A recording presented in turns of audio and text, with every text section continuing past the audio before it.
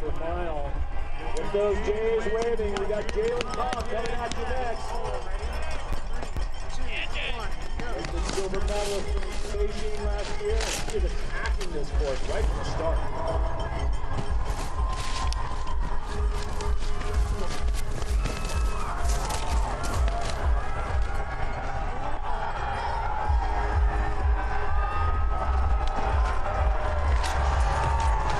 Jaelin Kauf, bottom cross up the back, will make some noise, Deer Valley.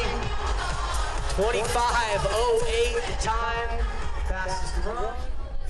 Full on aggression from top to bottom. This is a classic example of how can Kauf. 77.35